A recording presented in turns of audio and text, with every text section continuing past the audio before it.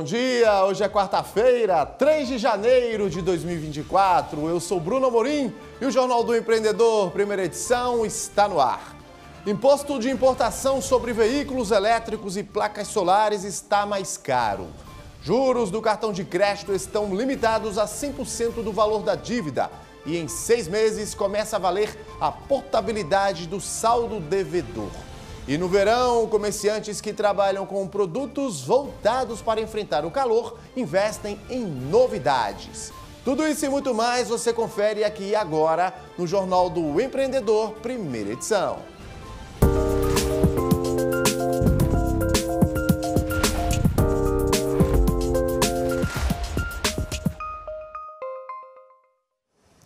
A partir de hoje, os juros do cartão de crédito estão limitados a 100% do valor da dívida. Quem não pagar uma fatura de 100 reais, por exemplo, pagará juros e encargos de, no máximo, 100 reais. Dessa forma, a dívida não poderá ultrapassar 200 reais, independentemente do prazo. E em julho, o brasileiro terá acesso a outras novidades.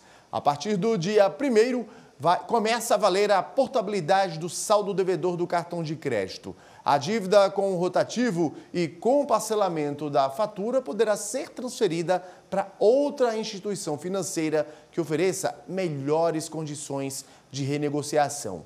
E caso o banco credor original faça uma contraproposta, a operação de crédito consolidada deverá ter o mesmo prazo do refinanciamento da instituição proponente.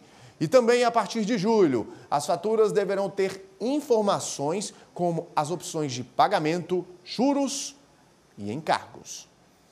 Muito calor e boas oportunidades para faturar. O comércio se organiza para trabalhar com as altas temperaturas, seja na venda de alimentos refrescantes ou com produtos para enfrentar o verão. Vejam só. 2023 foi considerado o ano mais quente dos últimos tempos e as temperaturas impulsionaram setores do comércio como a venda de ar-condicionado, um grande aliado neste verão, e também a comercialização de cortinas e blackouts. Muitos clientes nos procuram principalmente para amenizar o calor dentro da casa deles. Então a gente indica as opções das persianas telas solares, que são persianas que retêm os raios UVA e UVB, além de amenizar o calor. Elas são umas opções boas, porque além de dar amenizada no calor, elas não tiram a iluminação do ambiente, que é algo que muitos clientes querem. Já para os quartos, né, que é um local mais fechado, a gente indica as opções do blackout 100%, porque eles vedam 100% a iluminação. Então, tanto as cortinas e as persianas, elas têm essa, essa variedade de proteger, deixar o ambiente mais bonito e além de proteger os móveis da, da residência das pessoas. Os meses de setembro ao mês de dezembro, a gente teve um aumento de 35%. Com relação ao ano passado, gente, o número de vendas dobrou. Então, nossos clientes estão procurando muito as cortinas de persiana, principalmente nessa época de verão, por causa do excesso de calor. Esta loja trabalha com quatro tipos de cortinas, com blackout, translúcida, tela solar e sem blackout. As cortinas semi-blackout são as opções mais recentes no mercado. A 100% blackout, ela tem total vedação, olha só. Ela não permite que a claridade entre e ainda ameniza o calor. Já a semi-blackout, que possui 70% de vedação, é mais indicada para ambientes como sala e cozinha, pois permite a entrada parcial da luz. Já a cortina tela solar é mais tecnológica. Ela tem a opção de ser usada com controle remoto ou de forma manual. As persianas motorizadas são muito práticas para os clientes, principalmente para aqueles clientes que possuem espaços grandes, como cortinas de pé direito ou persianas de pé direito, porque como são persianas e cortinas pesadas, às vezes eles não conseguem locomover elas. Então a opção motorizada é uma ótima opção para isso. Além disso, muitos dos nossos clientes utilizam as plataformas inteligentes, né, como a Alexa, né? Aí a, o cliente ele com a motorização, ele pode estar conectando com a Alexa para poder ela estar tá fazendo uma casa inteligente. E nos dias mais quentes não pode faltar também o sorvete para refrescar, né? Estabelecimentos como esse estão lucrando nesse calorão dos últimos meses aqui no Brasil. Para se ter uma ideia, a cremeria italiana chegou a produzir 200 quilos de gelato em um único dia para atender a demanda.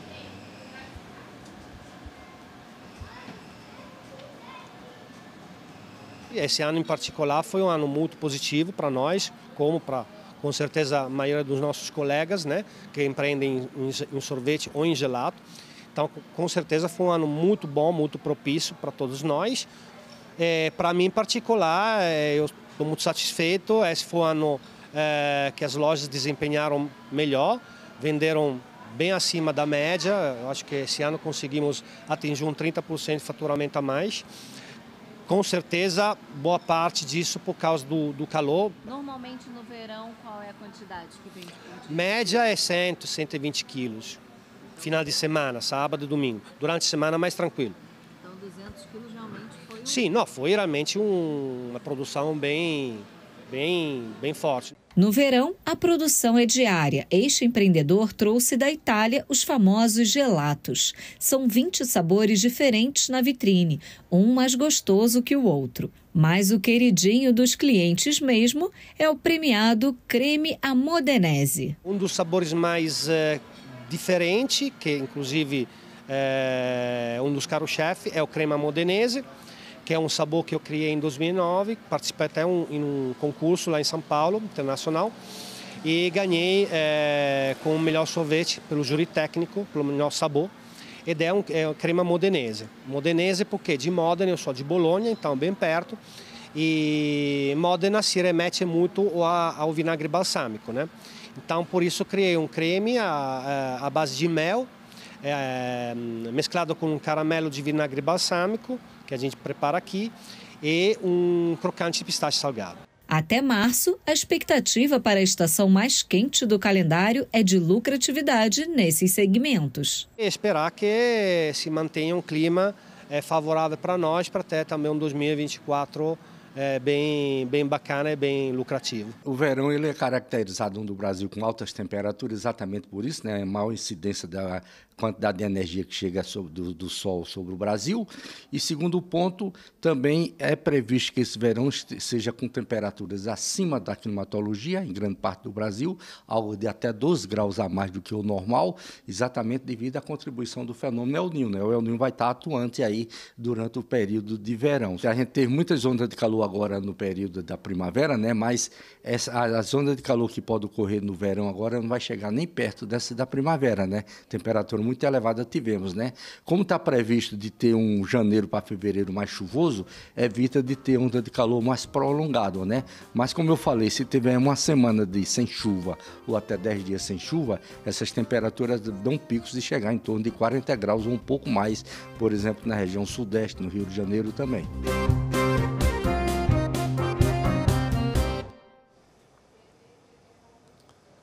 Todo início de ano é assim. IPTU, IPVA tem que ter planejamento para as contas pesadas de janeiro. Vale a pena pagar à vista? Giba Simanioto mostra pra gente. Eu sei que não terminou o ano ainda, mas vamos falar das contas de janeiro? Pois não, a gente sabe que janeiro dura 80 dias, né? Que você, Por quê? Porque é muita conta para pagar e, você, e, você, e, o espaço de você receber uma coisa e outra demora muito. É, vai criando uma reserva né, durante o ano para quando chegar em janeiro. O segredinho é não dar o passo maior que a perna, né? Ufa, haja coração. Tudo isso junto pode desestabilizar as nossas finanças e haja técnica para se entender. É, mas é planejamento, é a gente saber o quanto ganha, o quanto vai gastar, o que, que a gente tem de sonhos, né? E aí economizando. É assim que eu faço hoje. Esse educador financeiro ajuda a gente a entender esses cálculos todos. Ele já começa dizendo que o melhor é pagar todas as contas que cobram taxas de juros mais altos. E quanto ao IPVA, e ao IPTU. Bom, esses impostos já são previsíveis e se a gente pagar à vista, tem descontos que variam de 3 a 10%. Agora, se não tem esse dinheiro guardado. Eu já fiz essa reserva? Legal. Vou usar esse desconto a meu favor.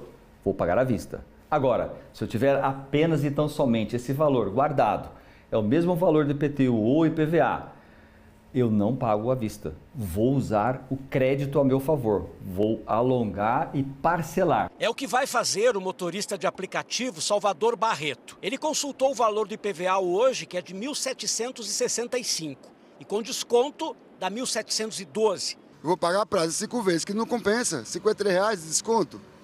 E a, e a outra despesa que temos? Muito caro. IPTU, é, depois vem licenciamento, depois vem o seguro obrigatório do carro, que hoje voltou. Tem um desconto muito mais. Muito mais, no mínimo 10%. Agora, se deixar de pagar as multas e juros consomem a gente. O IPVA tem multa de 0,30% ao dia. Em 60 dias, o acúmulo será de 20%. Um absurdo. Preste atenção nessa recomendação. Colocar uma agenda, ou seja, os 12 meses já colocando todos os gastos, os aniversariantes do ano, as datas sazonais, as datas comemorativas, inclusive PVA, IPTU, todos os impostos que fazem parte do seu ano, do seu cotidiano. Pois é, além do IPVA e do IPTU, para quem tem filho, ainda tem o material escolar no início do ano, né? Mudando de assunto, o imposto de importação incidente sobre veículos elétricos e placas solares está maior. Os recursos derivados desse aumento na tributação devem ser usados para custear parte de dois programas lançados pelo governo: Mobilidade Verde, Inovação e o Programa de Depreciação Acelerada. Para o Mover, serão destinados neste ano 3 bilhões e meio de reais em créditos financeiros para que as empresas invistam em descarbonização e se enquadrem nos requisitos obrigatórios do programa. Já o mecanismo de depreciação acelerada permite que a indústria abata o valor de um bem adquirido nas declarações futuras de imposto de renda de pessoa jurídica e de contribuição social sobre o lucro líquido. líquido. É uma forma de renovar o parque industrial. A elevação do tributo incidente sobre os veículos elétricos será gradual até 2026 e deve incentivar a produção nacional. No caso das placas solares, o imposto passa a ser de 10,8%. E no próximo bloco, na coluna do método GTD, que trata de produtividade, você vai saber como ajudar a equipe a definir e cumprir metas em 2024. Eu volto daqui a pouquinho. Não saia daí.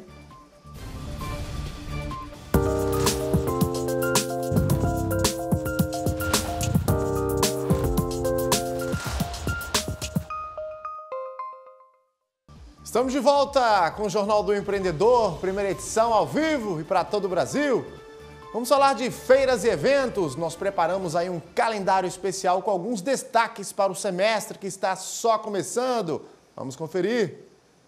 Já neste mês de janeiro tem a Coromoda, Feira Internacional de Calçados, Confecções e Acessórios, que entra na edição de número 50. Será entre os dias 22 e 24 no Expo Center Norte, em São Paulo. Em fevereiro, tem a Feira Nacional da Indústria de Joias, Relógios e Afins, de 19 a 22, no Transamérica Expo Center, também em São Paulo. No mês 3 do calendário, será realizada a Expo Franquias Nordeste, entre os dias 21 e 23, no Shopping Rio Mar, em Recife, Pernambuco. Em abril, um dos destaques é a São Paulo Fashion Week, nos dias 11 e 12, no São Paulo Expo. No mês seguinte, um destaque é a Feira Brasileira do Varejo, que vai durar três dias na sede da Federação das Indústrias do Estado do Rio Grande do Sul, em Porto Alegre. Fechando o semestre, tem a ABF Franchise Expo, de 26 a 29 de junho, no Expo Center Norte de São Paulo.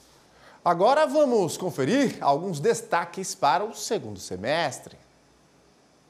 Em julho, a Expo Empreendedor 2024 será entre os dias 26 e 27 no Pavilhão Amarelo do Expo Center Norte, na capital paulista. Em agosto, a Rio Innovation Week acontece de 13 a 16 no Pier Mauá, na capital carioca. No mês de setembro, tem Feira de Inovação em Saúde durante dois dias, 18 e 19, na cidade de São Paulo. Em dezembro, a Feira do Empreendedor do Sebrae será realizada nos estados de São Paulo, Rio de Janeiro, Bahia, Alagoas e Pernambuco. Os endereços ainda não foram divulgados. Desde ontem, o saque aniversário está disponível para os cotistas nascidos em janeiro. Essa modalidade permite a retirada de parte do saldo de qualquer conta ativa ou inativa do fundo a cada ano, no mês de aniversário. Em troca, o trabalhador não poderá sacar o valor depositado pela empresa em caso de demissão sem justa causa, apenas a multa rescisória. A Caixa Econômica orienta o resgate por meio do aplicativo FGTS. A operação não tem custo. A definição de metas é fundamental para o crescimento de uma empresa. Mas isso não se faz de forma solitária. É preciso envolver toda a equipe no processo. O instrutor do método GTD, Manuel Messias Júnior, conta pra gente como organizar a dinâmica de trabalho dos colaboradores neste sentido. Olha, o ano de 2024 já está aí, temos muitas coisas a, a realizar, a cumprir com metas e muitas vezes nos importamos com a nossa produtividade, né? com a nossa organização, com as nossas metas. Mas e a organização dos nossos funcionários, dos colaboradores? Para quem é empreendedor, é preciso pensar nisso também. Então é preciso dar, um, dar uma organização e um destino para as metas dos colaboradores. Então, primeira coisa que eu coloco aqui como importante é fornecer ferramentas para esses colaboradores. Às vezes cobramos das pessoas uma organização, cobramos produtividade, mas não não investimos ou não proporcionamos ferramentas. Às vezes a culpa não é da pessoa. Eu falo desse jeito, às vezes eu brinco assim, né? A culpa não é da pessoa. A culpa é de uma organização dessa pessoa. Ela não, não nasceu muitas vezes com certa organização de metas. Então é preciso proporcionar ferramentas para esses colaboradores. Quais ferramentas? Um bom e-mail, um Outlook, como organizar esse Outlook, passar para esse funcionário como organizar isso, como organizar eh, suas tarefas em um aplicativo, um Todoist, um To-Do, ou em uma lista de tarefas, como manter uma organização das suas tarefas. Então é preciso fornecer ferramentas. E o segundo passo é estar de olho no job description desse funcionário, desse colaborador. O que é o tal do job description? É a descrição do que ele tem para fazer. Muitas empresas contratam os funcionários, mas não passa para ele ali um papel mesmo organizado quais são as suas tarefas, quais são as suas metas, o que, que ele tem que fazer no seu dia de trabalho. Então é preciso ter uma clareza nessa descrição do que ele tem que fazer no seu dia a dia. Esse é, esse é um segundo passo, digamos assim, importante para esse funcionário. Outro passo importante aqui é a questão de organização das metas e objetivos. E aqui eu quero trazer um ponto bem legal que para ajustar essa questão de metas aqui. Olha só, você deve estabelecer a meta escrevendo ela no máximo com 250 palavras. Porque a pessoa não pode passar de um minuto para ler essa meta, inclusive para os funcionários. Na hora de ler a meta para o funcionário, não pode passar de um minuto. Tem que ser uma meta bem enxuta. Mas de, que, mas, de certa forma, essa meta ela tem que ser bem específica. Não adianta ser muito generalista nessa meta aqui para os seus funcionários. Segundo, colocar quatro metas para o ano de 2024. Então, colocar quatro metas ali no trabalho. E essas metas podem ser listadas em ordem de importância. Quais são as mais importantes e as menos importantes. Mas é interessante aqui um número de quatro metas. Terceiro, abaixo de cada meta, você deve colocar uma lista de ações ligadas a essas metas. E essas ações vão estar ligadas à descrição do cargo de cada pessoa. E com esse mapeamento né, no papel, em um sistema, fica muito mais fácil para que o colaborador possa alcançar essas metas. Mas, além da organização dessas metas, é importante saber se o colaborador realmente compreendeu o que precisa ser feito e apoiá-lo nesse sentido. Muitas vezes a gente proporciona uma meta para o colaborador mas não percebemos se ele é capaz de atingir aquela meta naquele momento. Qual é o nível de desenvolvimento? Como que ele anda com aquele objetivo que ele tem de fazer? E às vezes ele está num nível muito abaixo. Às vezes ele está como principiante, ele não tem conhecimento, às vezes ele está empolgado apenas, mas não tem conhecimento. E é nesse momento, e em outros momentos também, que a liderança precisa estar atenta. para fornecer conhecimento. Quando ele já tiver conhecimento, é preciso fornecer um pouco mais de motivação, de apoio.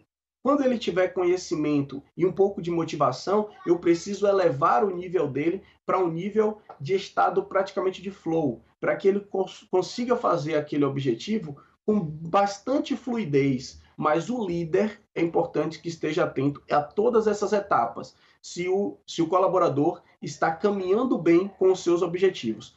E assim, com certeza, as metas vão ser melhor atingidas ali no ano de 2024. Ou seja, além de toda essa preocupação com a organização de metas, é importante também um bom planejamento, né, para que de fato todos os colaboradores, independentemente do tamanho da empresa, do negócio, do modelo de negócio, eles consigam aí atender essas metas. Ainda mais sabendo que estamos aí no início do ano, esses colaboradores das empresas, sejam eles das micro, pequenas ou médias empresas, eles precisam atingir as metas para 2024. E o Jornal do Empreendedor, primeira edição, fica por aqui.